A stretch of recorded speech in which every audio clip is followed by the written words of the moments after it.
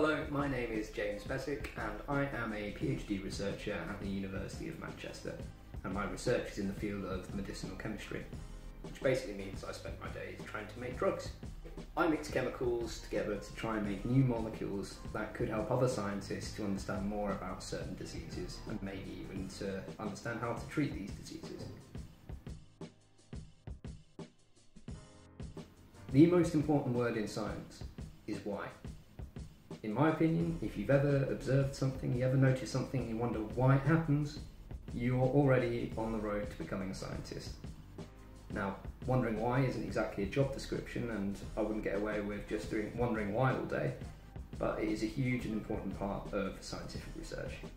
My own journey into wondering why, into STEM subjects, sort of started at the age of about four when, to my parents' dismay, I started making these horrible potions using buckets of water, mud, leaves, anything that I could find on the floor.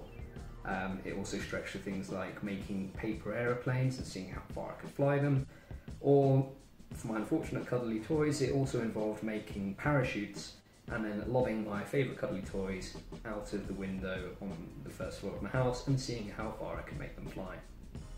I really enjoyed science at school. From quite early on, I was fascinated with space, the planets, solar system, and then when it became an option, I was fascinated by chemistry. Just the fact that I could read something in a textbook, but then actually go into the lab and put that into practice. I got to mix things in round bottom flasks, heat things with Bunsen burners. To me, that was just amazing, and I loved it. And of course, it really helped that my chemistry teachers at school were so enthusiastic and inspiring. I went to the University of York for four years and I studied chemistry. For the first three years, the favourite part of my, my course was definitely the lab work, and that was of no surprise to me. I definitely had my fair share of disasters, however, even they weren't enough to put me off the subject, which is normally quite a good sign. In my fourth and final year, I went on an industrial placement where I worked for a small medicinal chemistry company, uh, and that's my first sort of major experience in medicinal chemistry. And it was that year that helped me decide that I wanted to carry on doing research in that area just because I thought it was amazing that I could make brand new molecules that could help us understand and maybe even treat certain diseases.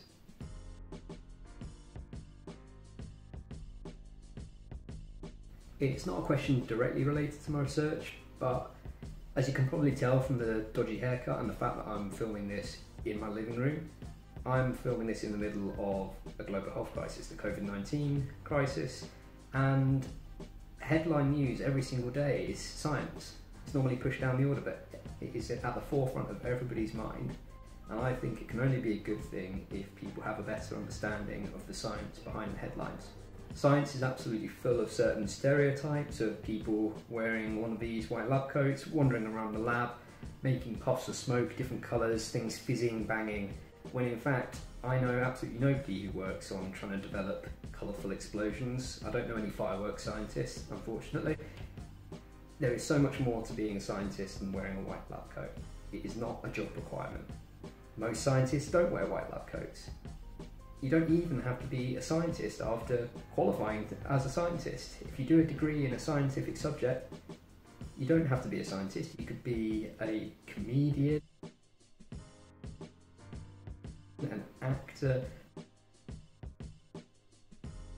a religious leader,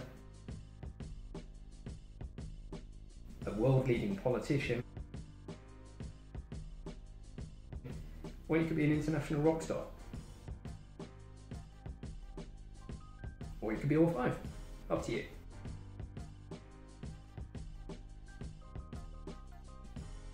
The Great Science Share for Schools is really important because, as I've said before, science is all about asking questions, and you can probably see where I'm going with this. The Great Science Share for Schools allows people like you to ask scientists, such as me, anything that you like. And I think that can only be a good thing to enhance the dialogue between the scientific community and the general public, can only be of benefit to the community as a whole.